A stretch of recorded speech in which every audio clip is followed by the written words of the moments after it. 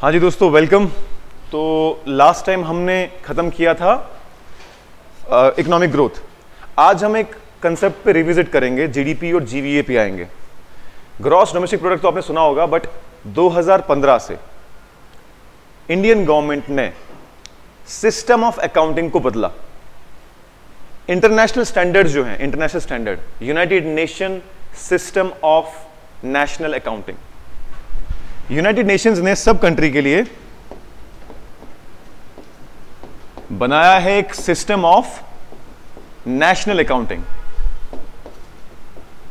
कि भाई, अब आज के दौर में अगर हमें कंपेयर करना है कि कौन सी कंट्री कितनी तेज़ी से ग्रो कर रही है तो उनको मेजर करने के पैरामीटर तो सेम होने चाहिए ना।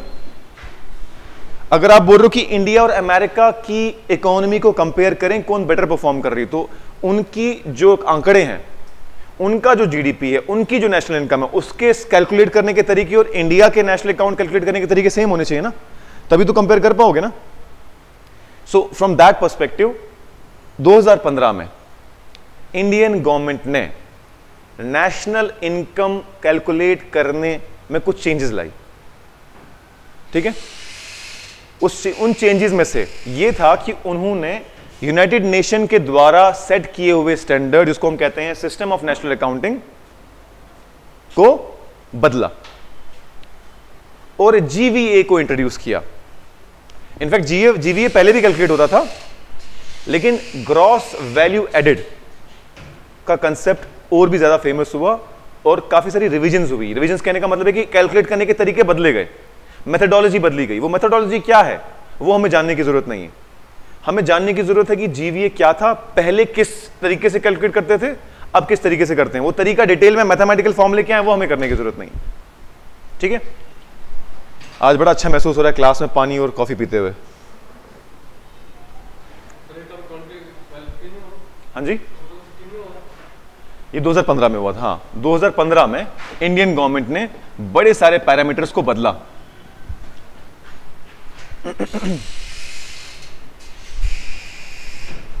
ठीक है?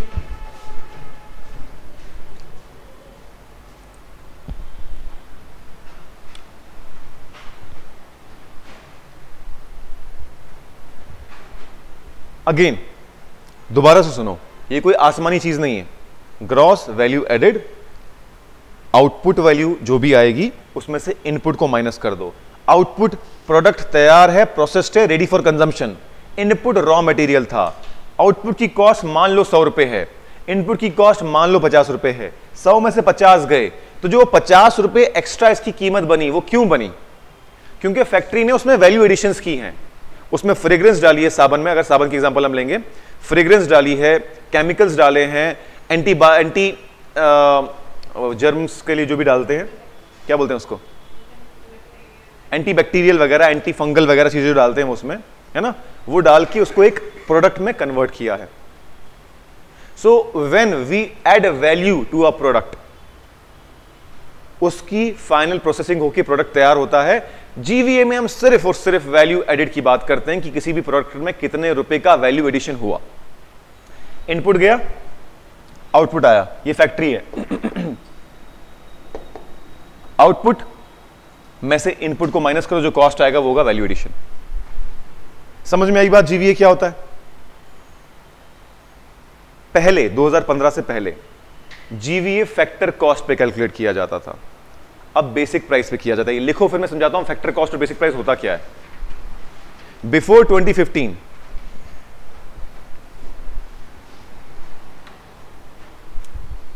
GVA used to be calculated at factor cost. GVA use to be calculated at factor cost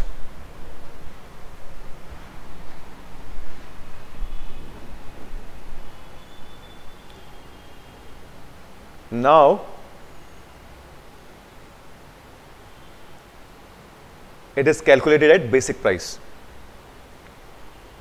यहाँ से थोड़ा हम इस टॉपिक को पॉज पे डाल के, पहले हम समझते हैं फैक्टर कॉस्ट बेसिक प्राइस होता क्या है।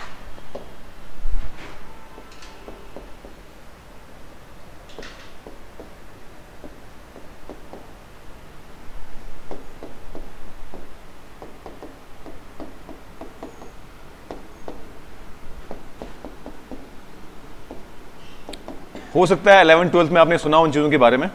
आज हम दोबारा समझते हैं। कोई भी प्रोडक्ट बनाने के लिए आपकी जो लागत है, कोई भी प्रोडक्ट बनाने के लिए आपकी जो लागत है, उसको हम कहते हैं फैक्टर कॉस्ट मैंने लेट्स से मैं मास्क बनाने का काम करता हूँ। तो मैंने लेट्स से सौ मास्क बनाने के लिए मुझे एक थान कपड़ा चाहिए और लेट्स से 15-16 नलकियाँ चाहिए और एक मशीन चाहिए और एक वर्कर चाहिए। तो मैं कैलकुलेट करूँगा, एक थान कपड़ा एक हज़ार रुपये का आएगा, नलकियाँ जो है हमारी लेट्स से पंद्रह जो है पचास रुपये की आएँगी और एक पर डे मुझे किसी को मजदूरी देनी है तो पाँच सौ रुपये उसको मैं पर डे दूँगा। ये कैलकुलेट करके मेरी लागत लग जाएगी। लेट एस से कि मैं सौ मास्क प्रोड्यूस करता हूँ हज़ार रुपये में। ये मेरी लागत है। अब लागत ही तो मैं चार्ज नहीं करूँगा ना। मैं प्रॉफिट लगाऊँगा इस पर उसके बाद में बेचूँगा। अब जो लागत होती है दिस इज़ फैक्टर कॉस्ट यानी फैक्टर्स ऑफ़ प्रोडक्शन जो लगे मेरे, उसमें मुझे कितना कॉस्ट लगा। किसी भी चीज़ को प्रोड्यूस करने के लिए चार चीज़ें चाहिए। नंबर एक labour number two land number three capital. Number four entrepreneur जो वहाँ का मालिक होगा, वही तो इन्वेस्ट करेगा ना। क्या क्या बोला मैंने? किसी भी चीज़ को बनाने के लिए मुझे चार चीज़ें चाहिए होती हैं। टू प्रोड्यूस एनीथिंग इसको कहते हैं फैक्टर्स ऑफ़ प्रोडक्शन क्या कहते हैं?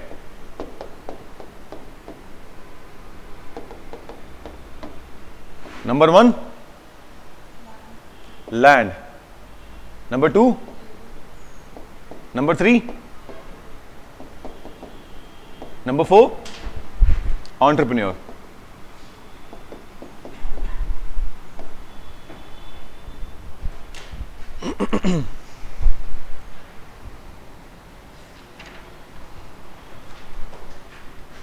ये जो मेरी कॉस्ट लग रही है, मैं सैलरी पे कर रहा हूँ, मैं लैंड का रेंट पे कर रहा हूँ।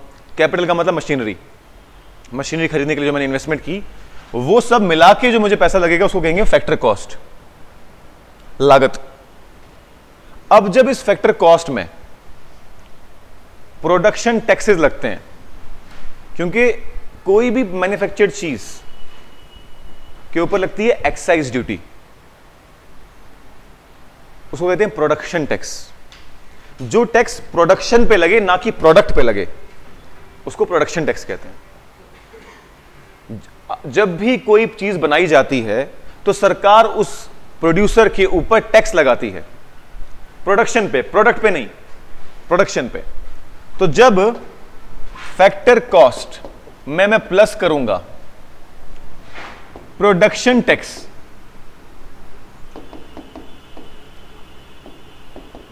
और मैं माइनस करूँ प्रोडक्शन सब्सिडी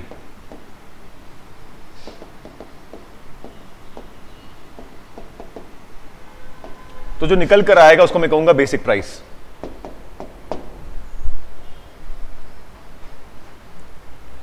आप बस इतना याद रखो, जब भी कोई चीज़ मैन्युफैक्चर की जाती है, सरकार उस पर टैक्स लगाती है।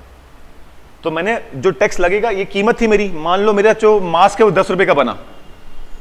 सरकार ने कहा टैक्स लगेगा इस पर लेकिन किस पे? सॉरी दस रुपए का नहीं प्रोडक्ट की बात नहीं चल रही। हज़ार रुपए के मास्क बने ना मेरे। अब इन हज़ार रुपए के मास्क के ऊपर टैक्स लगेगा। लेटर से सरकार ने बोला, सौ रुपए का टैक्स लगेगा जी इसके ऊपर।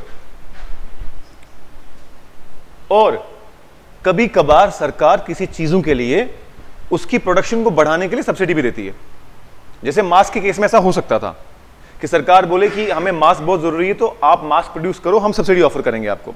जनरली सरकार फर्टिलाइज़र बनाने के लिए सब्सिडी देती है। लेटेस्ट से सरकार ने पचास रुपए की सब्सिडी भी दी थी, वो मैं माइनस कर दूँगा। तो कितना आ गया ये? One zero five zero. आ जाएगी बेसिक प्राइस अब इसके ऊपर जब प्रोडक्ट निकला बाहर तो मार्केट में पहुँचा। मार्केट में जब आप पहुँचता है और एक इंसान एक प्रोडक्ट खरीदता है तो पर्टिकुलर प्रोडक्ट पे इको टैक्स लगता है इसको हम कहते हैं प्रोडक्ट टैक्स या फिर इनडायरेक्ट टैक्स और इनडायरेक्ट टैक्स आजकल मैक्सिमम जीएसटी ही है। क्योंकि तकरीबन तकरीबन सारे इनडायरेक्ट टैक्स जीएसटी ने सब्ज्यूम कर दिए तो अब प्रोडक्ट के ऊपर जो फाइनल प्राइस लगेगा, मार्केट प्राइस, वो होगा basic price plus product tax minus product subsidy.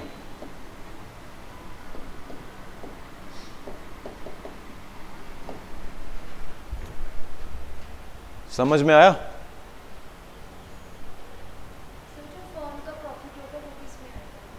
इसमें, फैक्टर वो लागत में।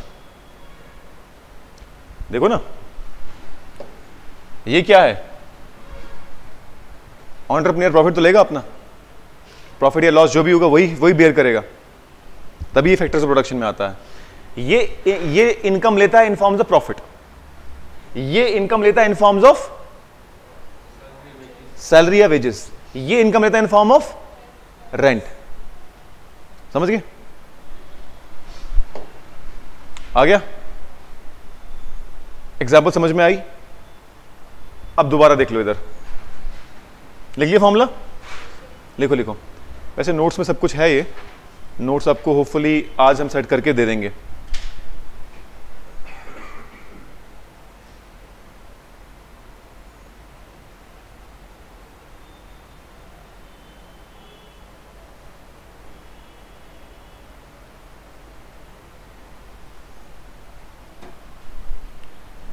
लिख लिया? अब ये फॉर्मूला देखो ध्यान से। Market price is equals to basic price plus product tax minus product subsidy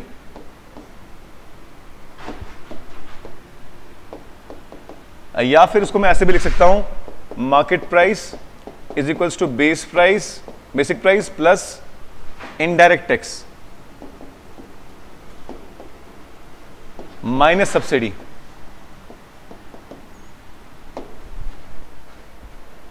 ठीक है?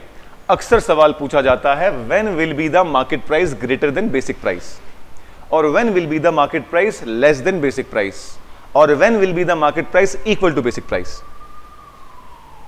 अब ध्यान से देखो। अगर इनडायरेक्ट टैक्स और सब्सिडी बराबर हो तो क्या ये कैंसिल हो जाएँगे? तो क्या मार्केट प्राइस बेसिक प्राइस के बराबर आ जाएगा? सही बात है? यानी मान लो बेसिक प्राइस दस रुपए है। प्रोडक्ट इनडायरेक्ट टैक्स उस पर एक रुपए का लगा और सरकार ने सब्सिडी भी एक रुपए की दी रखी थी। तो क्या ये कैंसिल हो जाएँगे? यानी मार्केट प्राइस भी दस रुपए आ जाएगा। यानी जब इनडायरेक्ट टैक्स और सब्सिडी बराबर होंगे, तब मार्केट प्राइस और बेसिक प्राइस भी बराबर हो जाएगा। बहुत ही कॉमनली आस्क क्वेश्चन है ये।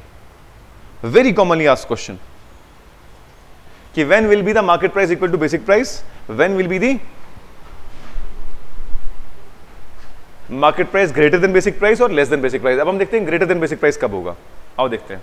नेक्स्ट केस ये फ़र्स्ट केस था जब ये बराबर है। ठीक है? दोबारा से लिखता हूँ आगे। Case first M P is equals to BP ये कब होगा? When indirect tax equals to subsidy अब सेकंड केस लेते हैं हम. Market price greater than basic price ये कब होगा?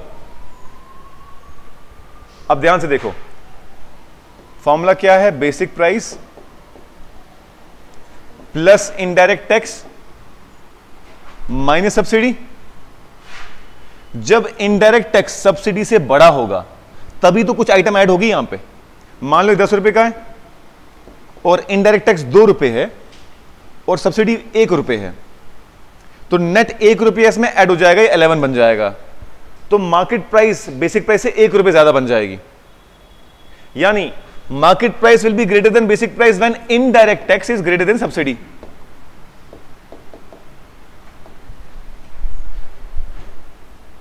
सही बात है?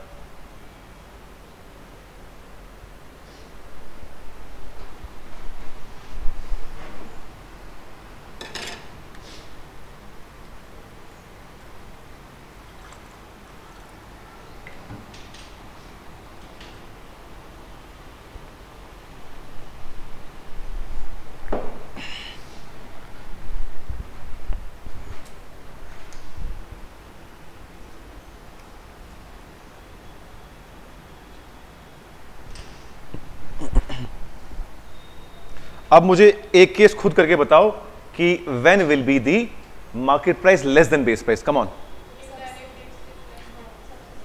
example लिख के वैल्यू डाल के।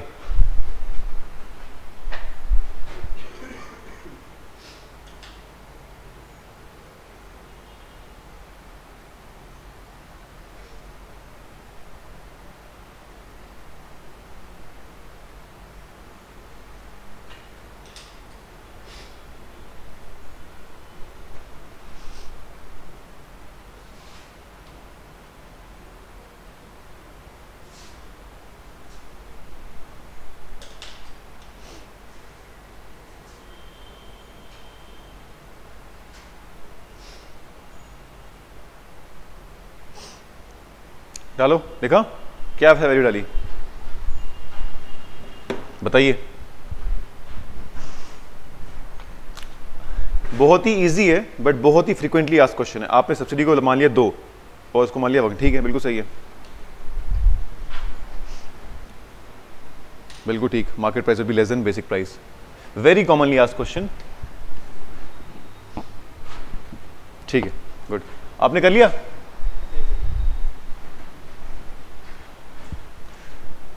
अब हम आते हैं फाइनली वही टॉपिक पे जहाँ हम छोड़ा था हमने।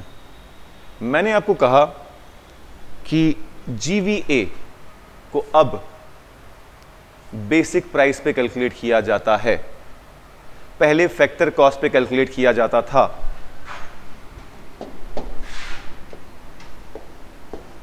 हो गया आपका?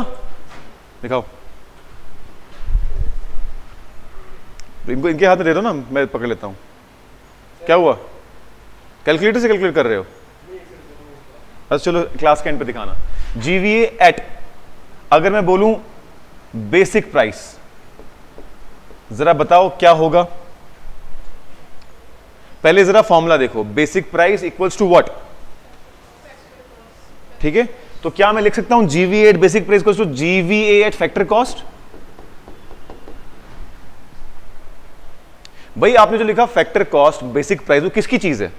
वैल्यू है ना वो किसी चीज़ की? किसी प्रोडक्ट की वैल्यू है, दस रुपए की चीज़ है, बीस रुपए की चीज़ है। जीवीए भी तो एक वैल्यू है। ग्रॉस वैल्यू एडेड लेकिन पूरे नेशन के लेवल पे। अब अगर मैं बोलूँ जीवीए एट बेसिक प्राइस यानी बेसिक प्राइस पे लिया हुआ हर प्रोडक्ट की वैल्यू एड की गई। वही मतलब हो गया ना? मैंने बोला, ये प्रोडक्ट है, इसकी लागत दस रुपए है। इसकी बेसिक प्राइस बारह रुपए है, उसकी मार्केट प्राइस पंद्रह रुपए है। अब आप बोलोगे, सर, मुझे बेसिक प्राइस का जीवीए बताओ। तो सर, मैं जीवीए की बेसिक प्राइस कैलकुलेट करूँगा ना? प्रोडक्ट है एक factor cost basic price and market price मैंने बोला जीवीए सबकी कैलकुलेट करो, किस पे? बेसिक प्राइस पे। आप बोलोगे, सर, हर प्रोडक्ट का मुझे सिर्फ़ बेसिक प्राइस बताओ। इस प्रोडक्ट का फैक्टर कॉस्ट दस रुपए था बेसिक प्राइस बारह था मार्केट प्राइस पंद्रह था। तो आप सिर्फ़ ये ऐड करोगे। या फिर आप सिर्फ़ ये ऐड करोगे और इनमें से प्रोडक्शन टैक्स को ऐड करोगे प्रोडक्शन सब्सिडी को निकाल दोगे। देखो फॉर्मूला फॉर्मूला देखो। इतना कोई आसमानी चीज़ नहीं है सिंपली रटने वाली चीज़ है। तो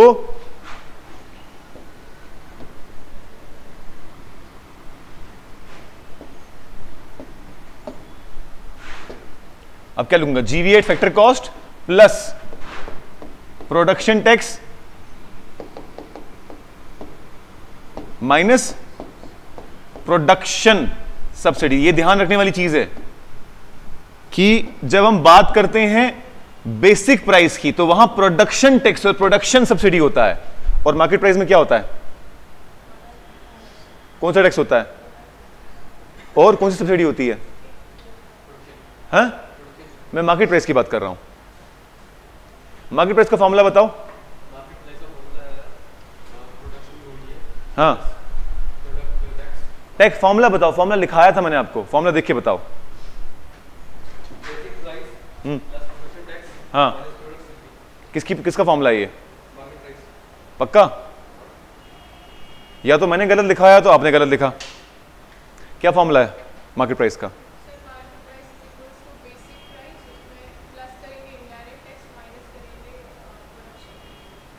नो नॉट प्रोडक्शन देखो ध्यान से प्रोडक्ट टैक्स प्रोडक्शन टैक्स और प्रोडक्ट टैक्स में डिफरेंस है। प्रोडक्शन टैक्स लगता है पूरे प्रोसेस पे। इस फैक्ट्री में मास्क बन रहे हैं कितने मास्क बने? हज़ार हज़ार मास्क पे टैक्स लगाओ। और प्रोडक्ट टैक्स का मतलब है जब मार्केट में आप खरीद रहे हो टैक्स को तो वो आप पे करोगे। प्रोडक्शन टैक्स कंपनी वाला पे करेगा। प्रोडक्ट टैक्स आप पे करोगे। बताओ आप समझ में आया? वेरी गुड अब दोबारा आप बताओ मुझे the formula for basic price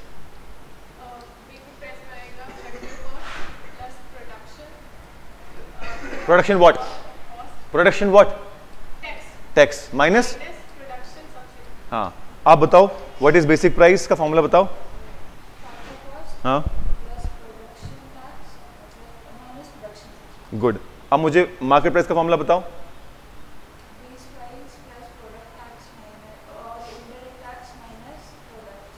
very good आपको समझ में आ गया? क्लियर है फॉर्मूला अब प्रोडक्शन टैक्स और प्रोडक्ट टैक्स में गलती मत करना। हालाँकि सवाल इस पर कभी नहीं आएगा। हो सकता है उसने ऐसा लिखा हो। BP is equal to GVA factor cost plus product tax minus product subsidy वो फॉर्मूला गलत हो जाएगा। तो अब हो सकता है आइडेंटिफाई द रॉन्ग स्टेटमेंट ऐसा भी आ जाए। क्लियर है अब? आपको क्लियर है? देखो आप फैक्ट्री वाले हो मैं आपका कस्टमर हूँ। आपने मास्क बनाना है या फिर बिस्किट बनाना है फिर साबन बनानी है, आप जितनी भी साबने बनाओ, गवर्नमेंट उस पूरी प्रोडक्शन पे टैक्स लगाएँगे आपको, क्योंकि आप बना रहे हो साबने। जब मेरे पास प्रोडक्ट पहुंचेगा तो मैं मैं एक चीज़ पे टैक्स दे रहा हूँ पूरे प्रोडक्ट पे नहीं। जो कस्टमर पे करता है, वो इनडायरेक्ट टैक्स होता है। जो फैक्ट्री वाला पे करेगा अपने पूरे प्रोडक्ट के ऊपर, वो प्रोडक्शन टैक्स होगा। इसको हम एक्साइज ड्यूटी भी कहते हैं। समझ गए? जब हम टैक्सेस पे आएँगे, और क्लियर होगा। लेकिन इतना तो समझ में आ रहा है ना कि एक टैक्स प्रोडक्शन वाला पे कर रहा है, एक टैक्स मैं प्रोडक्ट पे पे कर रहा हूँ। समझ गई बात को? क्लियर है? तो क्या ये जीवीए बेसिक प्राइस का ये फॉर्मूला सही है? जीवीए फैक्टर कॉस्ट को मैं करूँगा और उनमें प्रोडक्शन टैक्स को ऐड करूँगा माइनस करूँगा प्रोडक्शन सब्सिडी को। ये सही है? तो अब जीवीए 2015 से ये वाला कैलकुलेट होता है। पहले कौन सा होता था? ये वाला। अब सिंपल फंडा है, अगर जीवीए फैक्टर कॉस्ट दिया है तो आप बेसिक प्राइस निकाल दोगे। और अगर बेसिक प्राइस दिया है तो आप फैक्टर कॉस्ट निकाल दोगे। सिंपल फॉर्मूला चेंज है। जीवीए को इस तरफ़ ले आया मैं, और इज़ इक्वल टू कर दिया G V A basic price पे। माइनस क्या होगा? और प्लस क्या होगा?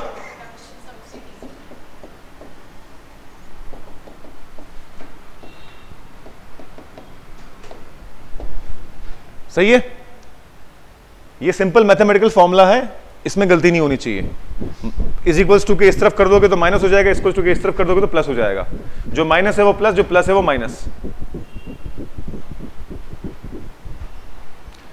अब हम रिलेशन एस्टैब्लिश करेंगे जीडीपी एट मार्केट प्राइस के बीच में और जीवीए एट बेसिक प्राइस के बीच में।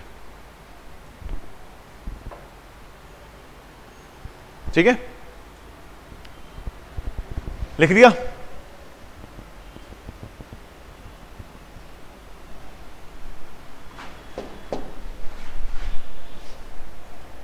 देखो ध्यान से अब।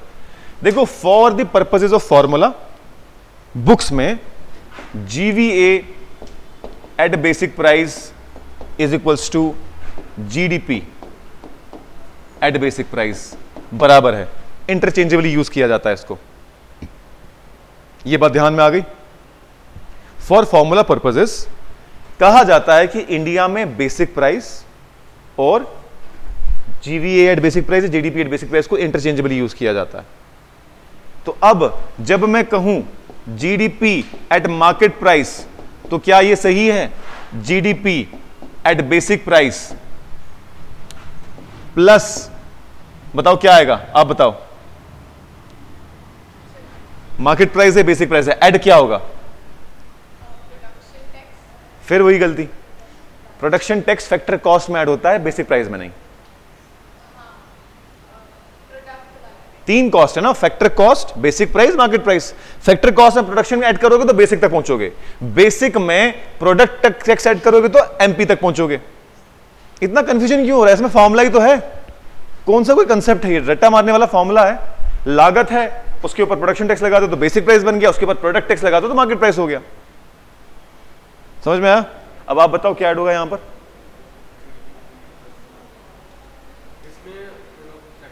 वेरी गुड प्रोडक्ट टैक्स आप बताओ क्या माइनस होगा? माइनस लिखो इस फॉर्मूले को।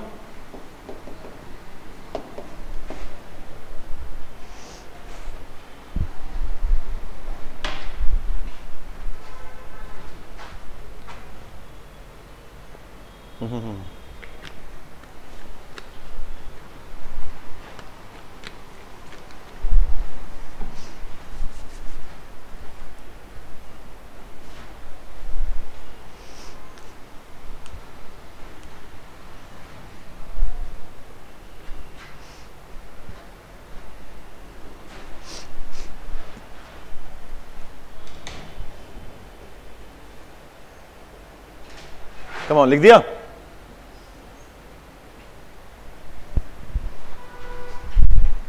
अब हम आते हैं इसी के, इसी जगह पर हम रिप्लेस करेंगे अब जीवीए को। अब लिखो GDP at market price equals to GVA at basic price plus product tax minus product subsidy या फिर इसको ऐसे भी लिख दो GDP at market price equals to GVA at basic price plus indirect tax minus subsidy और जब indirect tax में से सब्सिडी को माइनस कर देते हैं, उसको हम कहते हैं नेट इनडायरेक्ट टैक्स तो उसको हम ऐसे भी लिख सकते हैं equals to GVA at basic price plus net indirect tax समझ में आ गई बात? थोड़ा रटा रटा मारने वाली बात है ये। लिख दिया फॉर्म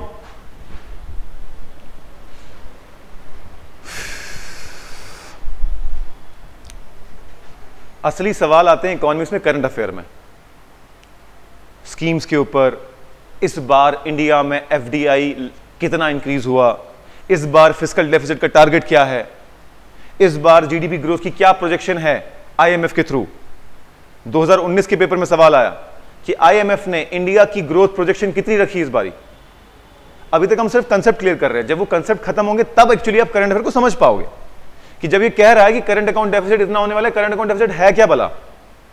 जब ये कह रहा है कि फ़िज़िकल डेफिसिट इतना होगा तो क्या बला है वो? अभी हम कंसेप्ट पढ़ रहे हैं, पर पिछले पाँच सालों में यूपीएससी में भी और केएस में भी कंसेप्ट पे बहुत कम सवाल आए हैं करंट अफेयर पे ज़्यादा आए और करंट अफेयर तब समझ में आएगा जब हम कंसेप्ट खत्म करेंगे। तो तकरीबन तकरीबन 50 परसेंट सिलेबस हमारा खत्म होने वाला है and then now will start budget से। हम बजट 2022-23 पढ़ेंगे अब। क्योंकि अब जीडीपी के आंकड़े भी समझ में आ गए, आपको जीवीए के आंकड़े भी समझ में आ गए फ़िज़िकल डेफिसिट भी समझ में आ गया प्राइमरी डेफिसिट भी समझ में आ गया। ठीक है ना? ठीक है? अब फॉर्मूले कल पूछूँगा, रटे हुए होने चाहिए।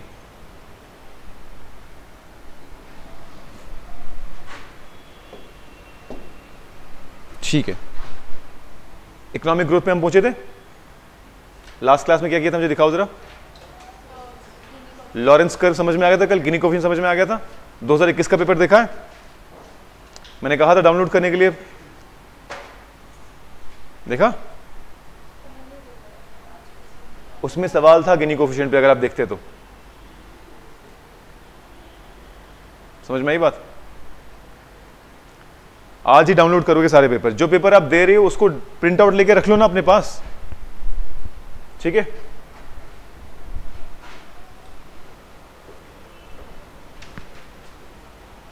अच्छा जी। कहाँ हम आए? Inflation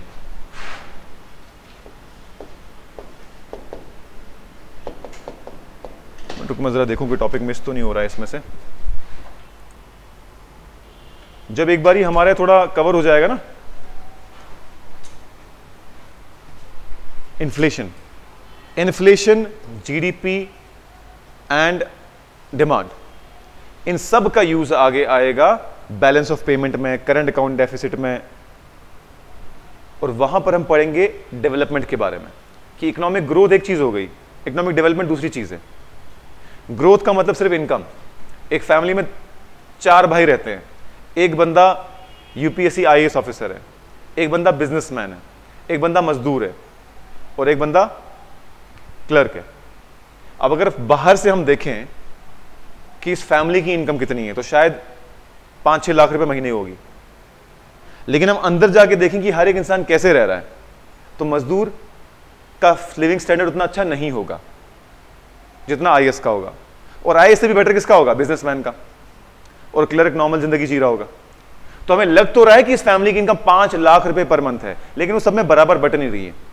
Similarly India is the third largest economy in terms of GDP PPP की nominal GDP PPP and six largest economy in terms of nominal GDP. But still, still there are a lot of people who are below poverty line. Still, many people die of very basic necessities. Many people are under malnutrition threat. Many stud- many uh, child face death, female infanticide. तो इसका मतलब ये नहीं कि बेशक हम six largest economy तो हर कोई बंदा खुशी खुशी जी रहा है या फिर यहाँ की लिविंग स्टैंडर्ड्स बेटर हैं किसी ऐसी कंट्री से जो हमारे नीचे जैसे भूटान है भूटान में gross national happiness is more important than development उनके लिए डेवलपमेंट से भी ज़्यादा इंपॉर्टेंट एनवायरमेंट है. Bhutan is the only country which has net negative carbon emission उतने वो प्रोड्यूस नहीं करते जितना वो सक कर लेते हैं वापस, अपने पहाड़ों से, अपने फॉरेस्ट से. सो प्रायोरिटीज अलग है.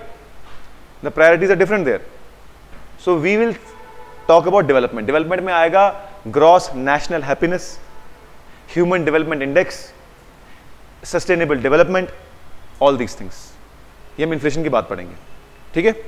अब आज हम नया टॉपिक शुरू करते हैं, जो है इन्फ्लेशन मतलब हाँ ठीक है। देखो, अगर मैं आपसे पूछूँ क्या है इन्फ्लेशन तो आप क्या बोलोगे? महँगाई। आम इंसान ऐसे ही बोलता है, बहुत बहुत महँगाई हो रही है। आप बताओ, महँगाई? है ना? अब अगर इकोनॉमी टर्म में सोचें तो it is sustained increase in the general price levels it is sustained price increase in general price levels लिखो inflation is sustained increase in general price levels.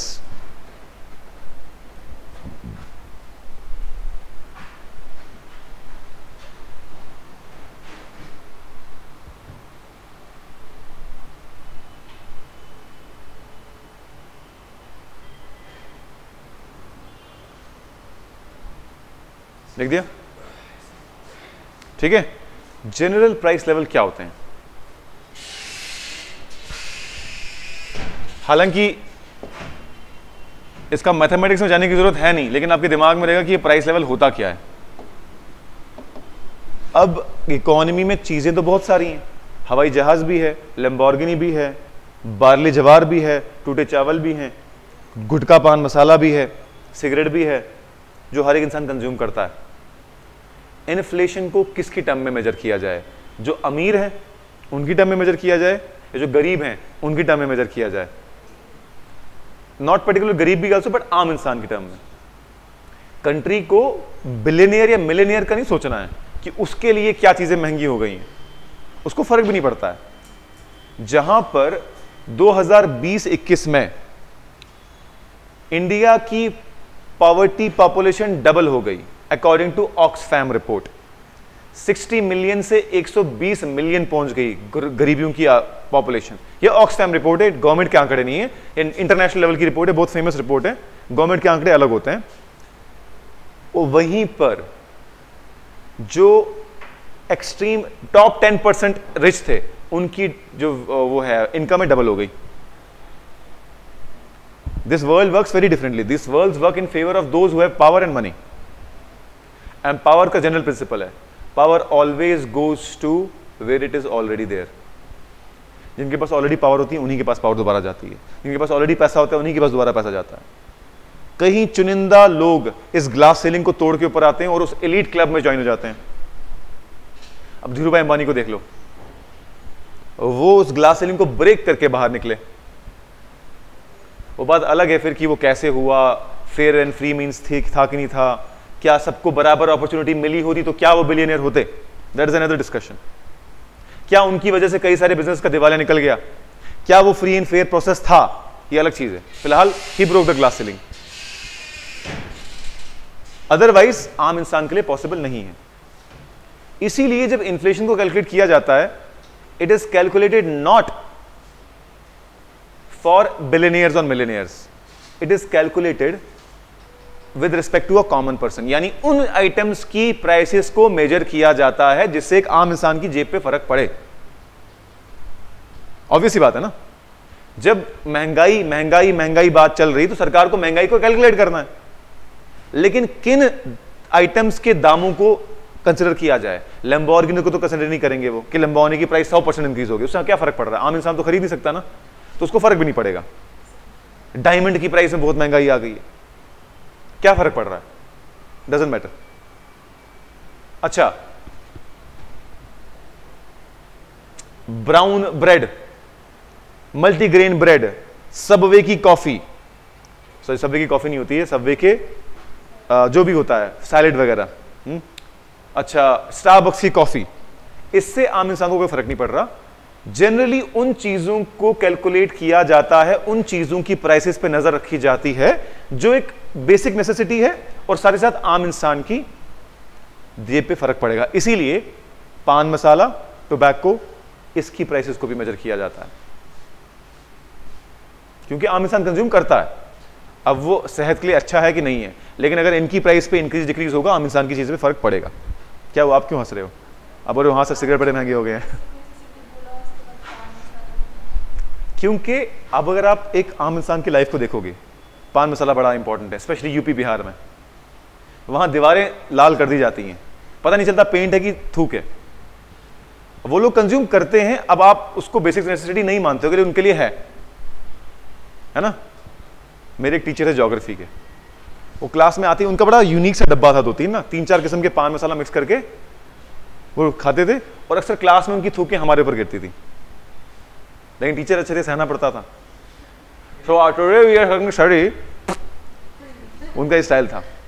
लेकिन सच में जोग्राफी के बड़े अच्छे टीचर थे। तो नाम नहीं लूँगा वो वो भी ऑनलाइन बड़ा पढ़ाते हैं, कहीं देख लेंगे तो मारेंगे टीचर खैर सिगरेट पान मसाला टोबैको को भी कैलकुलेट किया जाता है उसकी प्राइस को। क्यों? क्योंकि आम इंसान की जेब पे फ़र्क पड़ेगा अगर चीज़ें महँगी होंगी। और आपको फ़र्क नहीं पड़ता। इकोनॉमिक पर्सपेक्टिव से आपको यह देखना है कि इनकी जेब पे ज़्यादा फ़र्क कब पड़ेगा। आम इंसान की। अब वो चाहे टोबैको हो, पान मसाला हो ट्रांसपोर्टेशन हो इलेक्ट्रिसिटी हो फ़ूड एंड बेवरेज हो पेट्रोल हो। ठीक है?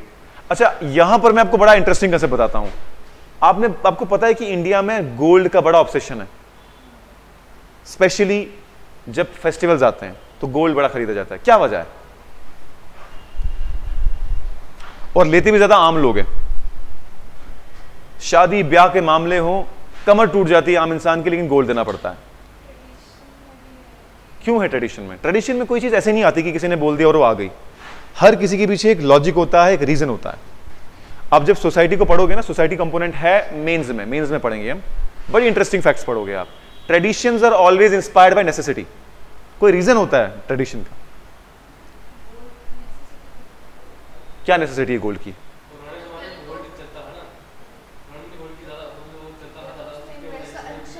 चलता था मतलब क्या चलता था? तो शादी में गोल्ड के सिक्के क्यों नहीं देते हैं? वो जेवर क्यों पहनते हैं?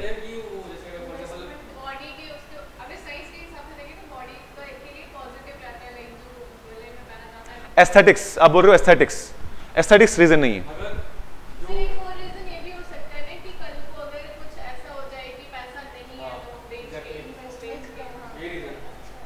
यही रीजन है तो फिर चांदी क्यों नहीं? गोल्ड क्यों?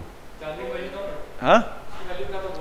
तो ज़्यादा ले लो ना जो आप आप ज़्यादा ले लो प्लेटिनम ले लो। आज प्लेटिनम अवेलेबल है डायमंड अवेलेबल है, उसकी वैल्यू ज़्यादा है। आज क्यों नहीं आप ले रहे हो? अरे, उस जमाने में प्राइसेस इंक्रीज कर कैलकुलेट कौन कर रहा था? तब कौन रियल टाइम में ऑब्ज़र्व कर रहा था कि गोल्ड की प्राइस ऊपर नीचे क्यों हो रही है? सबसे बड़ा रीजन था इन्फ्लेशन गोल्ड इन्फ्लेशन से प्रोटेक्ट करता था लोगों को। महँगाई से प्रोटेक्ट करता था। अगर आपके पास गोल्ड है, अगर इन्फ्लेशन होगी तो गोल्ड के दाम भी बढ़ेंगे। अगर आपने कैश रखा है, सिक्के रखे उनके दाम नहीं बढ़ते थे। और आज भी वो ट्रू है। Indian women have used gold to protect themselves against inflation ये है रीजन ये कारण है। तो मैं बता रहा था ना आपको कि ये जो चीज़ें हम पढ़ रहे हैं, ऐसी नहीं कोई आसमानी चीज़ें हैं। Always it is in our life we use we keep using it but we are just giving names to it now हम महँगाई बोलते थे उन्हें इन्फ्लेशन बोल दिया। समझ गए ना? अब ये समझ में आ गया आपको कि गोल्ड का क्यों ऑब्सेशन है। कल मैंने रिपोर्ट पढ़ी है कि पूरे वर्ल्ड में 11 percent gold Indian women hold करती हैं। इतना ऑब्सेशन है गोल्ड का। ट्रेडिशन भी है, फिर स्टेटस सिंबल भी बन गया कि जो ज़्यादा गोल्ड देगा, वो ज़्यादा अमीर है। श्रीनगर में भी है कश्मीरी पंडित में इन पर्टिकुलर मेरा दोस्त मुझे बता रहा था, उनका बहुत ऑब्सेशन है। वो कहता, हमारी शादियों पे गोल्ड इतना ज़्यादा यूज़ होता है कि लड़की जो पहन के बैठी होती है, उसके ऊपर बाहर होता है गोल्ड का इतना। इतना ऑब्सेशन है। उसकी सिस्टर की शादी में बता रहा था, कहता, मेरी दीदी लिटरली उनको बेहोश हो रही थी वो। इतना गोल्ड था। तो status symbol inflation and a good thing to be traded in times of need जब आपको ज़रूरत है, जब आपका कुछ लोन है, कुछ है तो आप बेच सकते हो। और कॉमन है, हम सब जानते भी हैं कि हम, हमारी फैमिली में कितनी बार हमारी मदर से सोना बेचा होता है घर बनाने के लिए, किसी और चीज़ के लिए ना? दिस इज़ कॉमन अब बात करते हैं जनरल प्राइस लेवल की। मैंने आपको कहा कि जब हम इन्फ्लेशन कैलकुलेट करेंगे तो हम हर चीज़ की प्राइस नहीं देखेंगे। हम सिर्फ़ वो चीज़ों की प्राइस देखेंगे, जिससे एक आम इंसान की जेब कटेगी। यानी पेट्रोल यानी फ़ूड एंड बेवरेज यानी ट्रांसपोर्टेशन कॉस्ट, कि पब्लिक ट्रांसपोर्टेशन कॉस्ट कितना है? आपको ट्रेवल तो करना है ना? Electricity charges school fees tobacco and pan masala, all these things. अब ये जनरल प्राइस लेवल में पहली बात तो ये आइटम आएँगी जो आम इंसान की जेब काटेंगी। लेकिन फिर इसको जनरल प्राइस लेवल क्यों कहते हैं? अब देखो, हर चीज़ की वैल्यू बराबर तो नहीं है ना? भाई पेट्रोल नहीं मिलेगा तो पैदल चले जाओगे। या फिर पब्लिक ट्रांसपोर्ट में चले जाओगे इलेक्ट्रिक व्हीकल ले लोगे। अगर आपको टोबैको पान मसाला नहीं मिला तो आप मर तो नहीं जाओगे ना। आप कंज्यूम करना कम कर दोगे। है ना? लेकिन अगर आपको फ़ूड एंड बेवरेज नहीं मिले तो आप मर जाओगे ना। सो so, इंपॉर्टेंस के हिसाब से इनको अलग अलग वैल्यू दी गई। आप में से किसी के कॉलेज में सीजीपीए एसजीपीए था? Yes, आपका था? आपका परसेंटेज था सबका? यानी आपका जो सीजीपीए था आपका भी था? कैसे कैलकुलेट होता था? क्रेडिट्स होते थे सब्जेक्ट के? किसी की ज़्यादा, किसी की कम? तो जिस जिस सब्जेक्ट में क्रेडिट ज़्यादा होते थे, अगर उसमें मार्क्स ज़्यादा आते थे, आपके ओवरऑल ग्रेड इंप्रूव हो जाता था। तो वेटेज हर किसी की अलग अलग होती थी। किसी के पाँच क्रेडिट थे, किसी के तीन थे, और जनरली लैब्स का तो एक ही होता था। तो जब आप कैलकुलेट करके प्राइस कैलकुलेट कर रहे होते थे, उसका ग्रेड कैलकुलेट कर रहे होते थे तो अगर जिसके ग्रेड कम होते, उसमें मार्क्स कम भी आते तो उसका खास फ़र्क नहीं पड़ता था, लेकिन जिसके ग्रेड ज़्यादा होते, उसके मार्क्स कम आते तो आपके ओवरऑल ग्रेड कम हो जाता था। सिमिलरली यहाँ पर भी प्राइस लेवल में अलग अलग चीज़ों की अलग अलग ग्रेडिंग की गई है। जो ज़्यादा इंपॉर्टेंट है, उसको ज़्यादा वैल्यू दी गई है। जो कम इंपॉर्टेंट है, उसको कम वैल्यू दी गई है। इसको कहते हैं जनरल प्राइस लेवल्स जिसमें चीज़ों की अलग अलग इंपॉर्टेंस के हिसाब से उनको अलग अलग वैल्यू दी गई हो। वो अलग मैथमेटिकल फॉर्मूला है, वो जानने की ज़रूरत नहीं कैसे कैलकुलेट करते हैं। आप सबको सीजीपी एसजीपी पता है। वैसे ही कैलकुलेट किया जाता है। ठीक है? तो कुल मिला के इन्फ्लेशन क्या है? What is inflation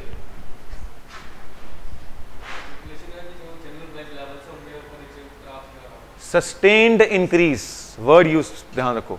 जो डेफिनेशन लिखवा रहा हूँ, बड़ा इंपॉर्टेंट डेफिनेशन हमेशा रटी हुई होनी चाहिए। क्योंकि डेफिनेशन आपको एग्जैक्ट क्लियरिटी देगा पिक्चर की। अब आप उस लीग में नहीं हो कि आप बाहर रास्ते वाली बातें करोगे अब आप यूपीएससी के लिए पढ़ रहे हो आपको हर चीज़ की नॉलेज होनी चाहिए हर चीज़ की और ये बात आप यकीन से मानो कि आप अगर प्रॉपरली पढ़ गए इस एग्ज़ाम का पूरा सिलेबस को तो किसी के साथ भी आप कभी भी जब कंपेयर करोगे तो आपका नॉलेज ज़्यादा ही होगा you would have a practical and better understanding of things. Now, whatever I ask you, that should be according to the definition I have asked you to write down. Definition में तभी लिखवाता हूँ जब definition का मतलब है। तभी मैंने लिखवाया। Sustained increase in general price level अब जो आपकी पुरानी डेफिनेशन है, वो भूल जाओ। जो मैं लिखवा रहा हूँ याद रखो। अब महँगाई होती क्यों है, इस बात पे हम बात करते हैं। बताओ क्यों होती है? नींबू के दाम महँगे क्यों हो गए? और डिमांड सेम रही। इनफैक्ट गर्मी में थोड़ी बढ़ भी गई। यानी सप्लाई सप्लाई की प्रॉब्लम है और उसके अलावा कोई रीजन है महँगाई होने का? वेरी गुड ऐसा कब होगा?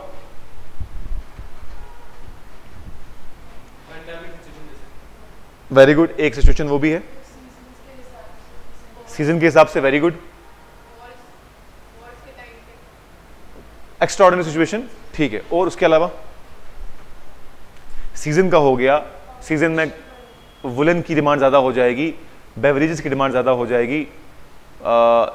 सिमिलरली गर्मियों में आपकी अलग डिमांड होगी खाने, पीने, रहने की एसी की इलेक्ट्रिसिटी की डिमांड चेंज होगी, है ना? और किस सीज़न की वजह से बदल सकता है? पॉपुलेशन की वजह से भी हो सकता है डिमांड बढ़ सकती है, लेकिन पॉपुलेशन की वजह से आपको सडन इंक्रीज दिखेगा। है ना? सडन इंक्रीज दिखेगा तो वो लॉन्ग टर्म में इंपैक्ट करेगी। साल या दो साल में नहीं। बताओ और क्या रीजन हो सकता है।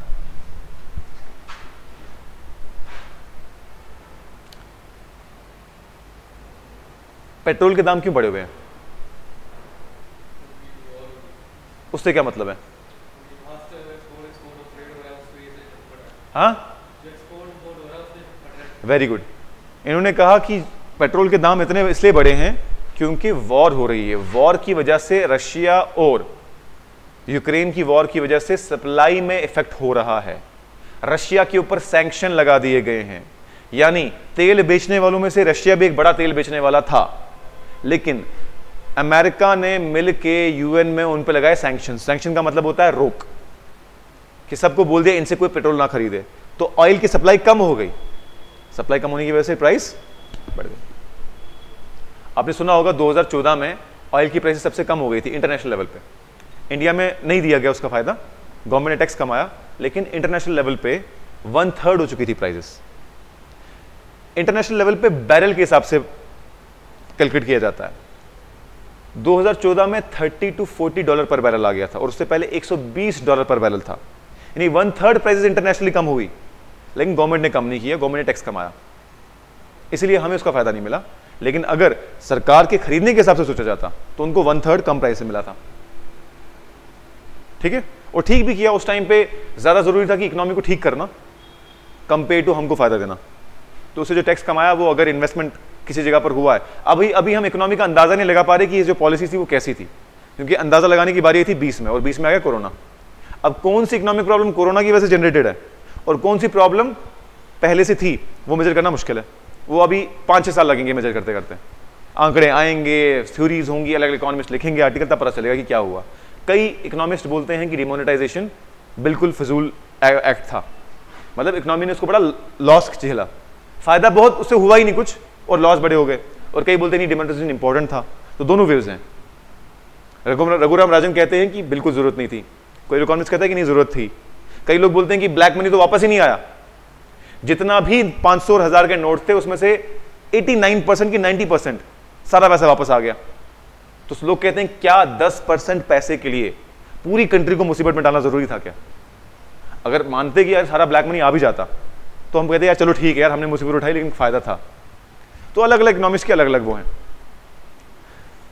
अब इसके बेसिस पे जो आपने कहा कि इन्फ्लेशन क्यों होती है इन्फ्लेशन तीन किस्म की हो सकती है, तीन कारणों से हो सकती है। नंबर एक demand pull inflation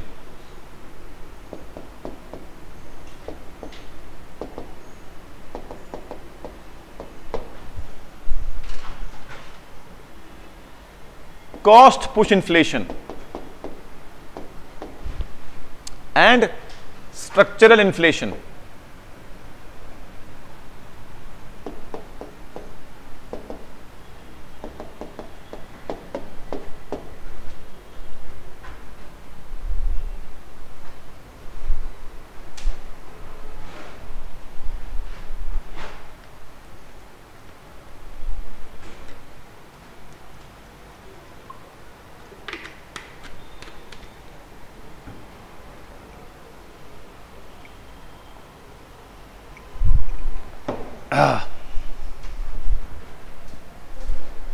देखो ध्यान से, याद है ये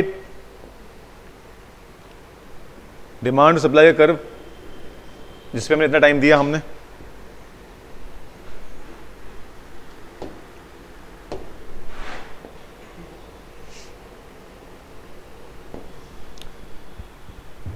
जब डिमांड बढ़ेगी,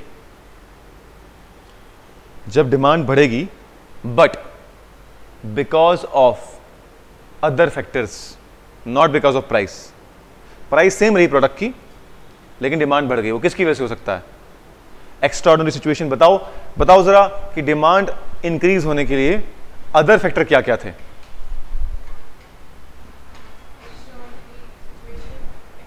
ठीक है, एक आप बताओ, दूसरा। फ़ैशन वेरी गुड ट्रेंड्स आप बताओ। डिमांड अदर फैक्टर क्या थे? जब हम कहते थे ना कि law of demand says that if the price of the product decreases the demand will increase and if the price of the product increases the demand product decrease provided other factor remain constant what were those other factors इन्होंने एक बोला war external situation इन्हें बोला fashion इन्हें बोला trend आप बताओ एक और। अगर इन्हीं में सवाल आता तो मैं पूछता नहीं ना। मैं कहता सब हो गया।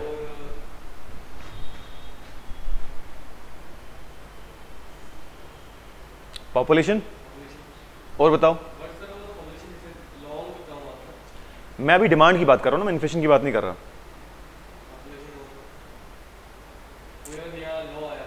प्राइस ऑफ़ रिलेटेड गुड्स नहीं आएगा। सबसे पहले दिमाग में आप कहना चाहिए price of related goods price of related goods देखो, आपके पास टाइम नहीं है इस चीज़ के लिए कि मैं आपसे सवाल पूछूँ आपको ना आए। ये साल का बैच नहीं चल रहा है, दो महीने का बैच चल रहा है। If you miss you will lose marks और एटलीस्ट मैं आपको बोल बोल के थक गया कि डिमांड पे तो यूपीएससी में सवाल आ गया है। तो उसको तो कम से कम सीरियसली लो। कोई आसमानी चीज़ तो है नहीं। Population price of related goods substitute and complements trends fashion behaviour changes ठीक है ना? ये सब याद होने चाहिए। अब मान लो, किसी रीजन की वजह से डिमांड बढ़ गई। चाहे पॉपुलेशन की वजह से मान लो पॉपुलेशन को छोड़ो, फ़िलहाल हम इसमें इन्फ्लेशन में ले लेंगे। एक्स्ट्रा ऑर्डनरी सिचुएशन की वजह से डिमांड बढ़ गई। मास्क की सैनिटाइजर की। तो डिमांड कर्व को क्या होगा? शिफ्ट करेगा? किस तरफ़? राइट की लेफ़्ट जब भी डिमांड पर सवाल आए, दिमाग से कैलकुलेट मत करो ड्रॉ करो उसको। हमेशा याद रखना डिमांड या सप्लाई पे कोई भी सवाल होगा इक्विलिब्रियम पे कोई भी कर्व होगा, आपको जो भी आंसर देना है कर्व बनाने के बाद देना। क्योंकि ये सवाल दिमाग में सॉल्व नहीं होते। शबाश। When the demand increases because of non price determinant और because of other factors what will happen to the demand curve अलग से डिमांड कर बनाओ और बताओ मुझे क्या होगा। राइट शिफ्ट होगी कि लेफ़्ट शिफ्ट होगी?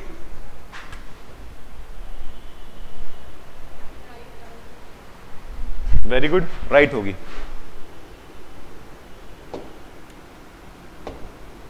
तो यहाँ आ जाएगी। तो क्या ये नया प्राइस सेट हो गया? पहले प्राइस था ये, अब प्राइस हो गया ये। तो क्या प्राइस को पुल किया डिमांड ने? पहले ये था दस रुपए, अब पंद्रह रुपए हो गया। क्यों? क्योंकि डिमांड कर राइट शिफ्ट हुई। क्यों हुई शिफ्ट किसी रीजन की वजह से डिमांड बढ़ गई। चाहे वो फ़ैशन की वजह से बढ़ गई, चाहे वो एक्स्ट्रा ऑर्डनरी सिचुएशन की वजह से बढ़ गई, चाहे वो कोरोना की वजह से बढ़ गई, मौसम की वजह से बढ़ गई। अभी वाटरमेलन की कितनी कंजम्पशन हो रही है? बताया था मैंने वो कश्मीर में पाँच करोड़ दिन में कंज्यूम होता है। क्यों? भाई it's a good fruit good amount of water because of in in summer it is a good fruit to consume सही बात है? So demand pull inflation market में डिमांड बढ़ी तो क्या हुआ? डिमांड कर राइट शिफ्ट हुआ। तो डिमांड पुल इन्फ्लेशन समझ में आया? क्यों बोले डिमांड पुल क्योंकि डिमांड के बढ़ने की वजह से इन्फ्लेशन हुई प्राइसेस इंक्रीज हुई। सडनली गर्मी ज़्यादा होने की वजह से एसी की डिमांड की इंक्रीज हुई। सडनली गर्मी की बढ़ने की वजह से इलेक्ट्रिसिटी कंजम्पशन की डिमांड बढ़ गई। क्या वजह है? कि इस वक्त लाइट का इतना प्रॉब्लम चल रहा है। क्योंकि गवर्नमेंट कह रही है कि हमने एक्सपेक्ट नहीं किया था कि इस मंथ में इतना ज़्यादा डिमांड हो जाएगा। तो हम जितना सप्लाई कर रहे थे, उतना नॉर्मली इस मंथ में काफ़ी हो जाता था। लेकिन क्योंकि अर्ली ऑनसेट ऑफ़ क्या हुआ? गर्मी। उसकी वजह से एसी की डिमांड बढ़ी। सीजनल समझ में आया? So it pulled up the prices तो इसको कहते हैं डिमांड पुल इन्फ्लेशन क्लियर है? पूछ लो यहाँ पर क्लास में। अगर क्लियर नहीं है तो।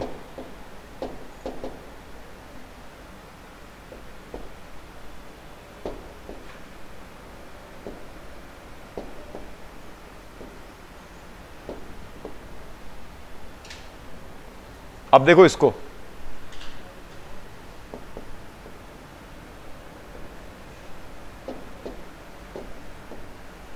ये कौन सी कर्व है? कौन सी कर्व है ये? और ये कौन सी है? ठीक है।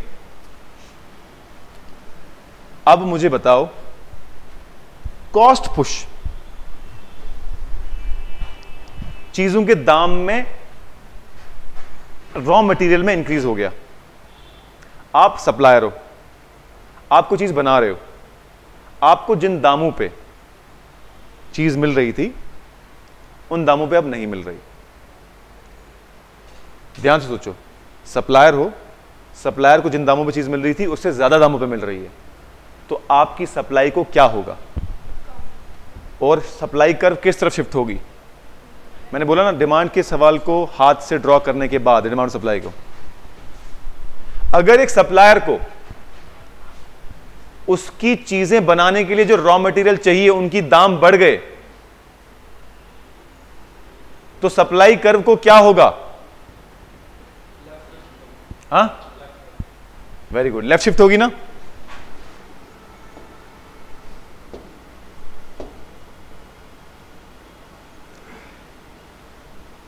पहले ये था प्राइस दस रुपए, अब ये हो गया। पंद्रह रुपए। तो कॉस्ट ने पुश किया इसको।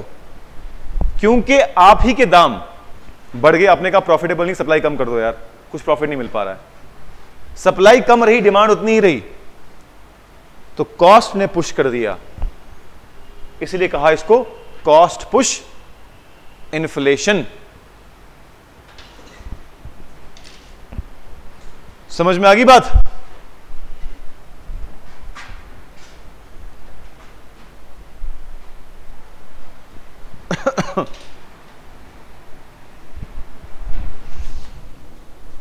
ये क्या बोला है? ये से किस हाईलाइट होता है। यहाँ से? ओह ओह ओह ये क्या है? मतलब ये आँखों का हाईलाइटर है कि ये पेपर का हाईलाइटर है? पेपर वाला ये। मुझे तो लगा आँखों में हाईलाइटर है ये। दोस्तों, देखो, मुझे आज यूनिक चीज़ दिख रही है। ज़बरदस्त चीज़ है यार ये। एग्ज़ाम में मत ले जाए उनको लगेगा कोई नकल करने के लिए लाया हुआ है। ठीक है? ये समझ में आया? जब भी चीज़ों के दाम में बढ़ोतरी आएगी सप्लायर सप्लाई कम करेगा। क्यों? क्योंकि उसको अब महँगा पड़ रहा है प्रॉफिट ज़्यादा मिल नहीं पा रहा है। और सप्लायर कभी एकदम से प्राइस को इंक्रीज नहीं कर सकता। और कई बार तो मार्केट एक्सेप्ट ही नहीं करती है कि आप बार प्राइस इंक्रीज करो। याद करो मैगी वाली बात। आज से दो तीन साल पहले मैगी को बंद कर दिया गया था। क्यों? क्योंकि उसमें कहा गया था मोनोस्टोडियम ग्लूटामेट ज़्यादा है एमएसजी एमएसजी द मैसेंजर। मैस, देखी मूवी? नहीं? राम रहीम सिंह इंसान की मूवी नहीं देखी? M S MSG monosodium glutamate. ये एक ऐसा प्रोडक्ट है जो आपकी क्रेविंग्स को बढ़ाता है। अगर ज़्यादा होगा तो आपको ज़्यादा कंज्यूम करने का मन करता है। चाइनीज़ प्रोडक्ट में बहुत यूज़ होता है। तो किसी ने बोला कि मैगी में एमएसजी के कंटेंट ज़्यादा है। तो एमएसजी के जो मैगी के जितने भी बैचेस थे सबको ऑफ़ द रैक कर दिया गया। मुझे लगता है कोई ना कोई ऑफिशियल झड़प हुई होगी, क्योंकि मैगी जो ब्रांड है सर नेस्ले ब्रांड अगर उनने एमएसजी ज़्यादा डाला होगा, ऐसे हज़ारों ब्रांड हैं मार्केट में, जो इससे बहुत ज़्यादा ग्रॉस वायलेशन कर रहे हैं, पर उनको किसी ने पकड़ा नहीं। अब उनका छह महीने तक की तीन महीने तक उनका प्रोडक्ट ऑफ़ द मार्केट रहा। उठा के सब जला दिया। डिस्पैच डिस्पोज ऑफ़ कर दिया। करोड़ों का नुकसान उनको हुआ मैगी को। अब जब वापस मार्केट में आए तो आपको याद होगा उनने मैगी कर दी थी बारह रुपए की, कि ग्यारह रुपए की। नहीं नहीं, पहले साइज़ में छोटा नहीं हुआ था। सुनो ना, ग्यारह रुपए कर दिया। लोगों को हजम ही नहीं हुई एक रुपया इंक्रीज करना। वैसे भी थोड़ा और सा प्राइस था। अब दस रुपए की मैगी आप ले लोगे, अब एक रुपया छुटा कहाँ से लाओगे? दूसरी बात, लोगों को एक्सेप्ट हजम नहीं हुआ कि मैगी ग्यारह रुपए की, हम तो दस रुपए का खरीदते थे फेल हो गया उनका। उनकी सेल्स डाउन हो गई। तो उन्हें क्या किया? उन्हें क्या छोड़ो कोई टेंशन नहीं, इनको बेवकूफ़ बनाते हैं। उन्हें थोड़ा सा साइज़ छोटा कर दिया मैगी का, पता भी नहीं चला आपको। थोड़ा सा छोटा कर दिया। महसूस नहीं हुआ। तो उनका प्राइस दस रुपए ही रहा, लेकिन क्वांटिटी कम हो गई। उससे क्या हुआ कि ना तो हमें तकलीफ़ हुई, ना तो उनको हुई। उनका भी प्रॉफिट आ गया। तो इसलिए मैं कह रहा हूँ, जब कॉस्ट ऑफ़ इनपुट बढ़ जाता है तो एकदम से मार्केट में अपना प्रॉफिट बढ़ाने के लिए वो नहीं कर सकता इंक्रीज तो सप्लाई ही कम कर देता है। समझ गए? क्लियर है? सिमिलरली अगर आप जैम की बॉटल्स पे देखोगे, उसके नीचे बम्प होता है अंदर की तरफ़। वो फ्लैट नहीं होता कभी। क्योंकि उतना सा जो बम्प होता है, उतना सा वो क्वांटिटी बचा देता है। साइकोलॉजिकल गेम है सारी। तो अगर आप बोलोगे, सर, अगर बेशक उसको कॉस्ट ऑफ़ इनपुट बढ़ गया था तो उसने प्राइस का कॉस्ट क्यों नहीं बढ़ा दिया?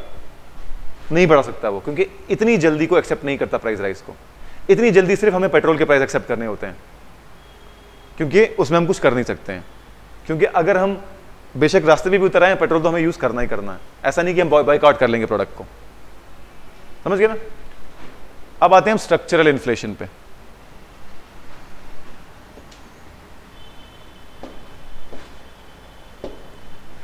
स्ट्रक्चरल इन्फ्लेशन का ग्राफ भी बिल्कुल वैसा ही बनता है जैसा कॉस्ट पुश इन्फ्लेशन का बनता है। इसमें भी सप्लाई कर्व लेफ़्ट शिफ्ट करती है। क्यों? क्योंकि सप्लायर ने तो सप्लाई कर दी, पर किसी स्ट्रक्चरल प्रॉब्लम की वजह से, रास्ता बंद होने की वजह से, बर्फबारी होने की वजह से गवर्नमेंट के बैन लगाने की वजह से लोगों तक पहुँच नहीं पाता है वो। यहाँ क्या हो रहा है? यहाँ सप्लायर ने सप्लाई कम कर दी। यहाँ सप्लायर ने बिल्कुल सप्लाई कम नहीं की, लेकिन जिस इलाके में भेजा सप्लाई उधर तक पहुँच नहीं पाया। फॉर एग्ज़ाम्पल पाकिस्तान से इंडिया और इंडिया से पाकिस्तान बड़ा ट्रेड होता है। जब भी वो ट्रेड बंद होता है बिकॉज़ ऑफ़ सिक्योरिटी रीजन दाम यहाँ भी बढ़ते हैं दाम वहाँ भी बढ़ते हैं। क्यों? सप्लायर सप्लाई करना चाहता है पर गवर्नमेंट रोक लगा देती है कि हम तुम्हें से ट्रेड नहीं करेंगे। सो so, कर वैसे ही शिफ्ट होगी लेफ़्ट साइड लेकिन यहाँ पर ध्यान रखने वाली बात यह है कि सप्लाई कम इसलिए हो रही है क्योंकि कुछ रोक है स्ट्रक्चरल प्रॉब्लम है। रास्ता टूटा हुआ है ब्रिज टूट गया टनल बंद हो गया बर्फबारी हो गई गवर्नमेंट ने रोक लगा दी बैन लगा दी जिसकी वजह से सप्लायर ने सप्लाई तो किया था पर आप तक पहुँच नहीं पाया। इन दोनों इन्फ्लेशन को कंट्रोल करने का तरीका है, पैसे को कंट्रोल करो। वहाँ पर आरबीआई का काम आता है। लेकिन इस किस्म की इन्फ्लेशन को आरबीआई कम नहीं कर सकता। आरबीआई रास्ते उधर के बेलचा लगा के बर्फ़ तो हटाएगा नहीं ना, वो तो गवर्नमेंट को हटानी है। अगर गवर्नमेंट को बैन कर दिया तो गवर्नमेंट को हटाना है। इस किस्म की इन्फ्लेशन को आरबीआई कंट्रोल नहीं कर पाता है। इन दोनों को कर पाता है, किसी हद तक।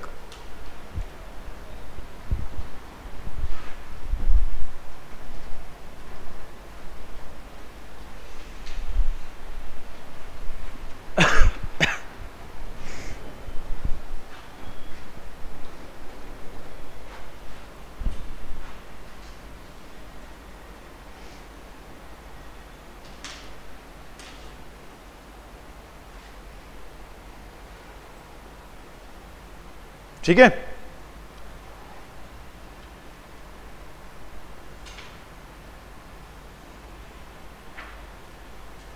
समझ में आ गई बात?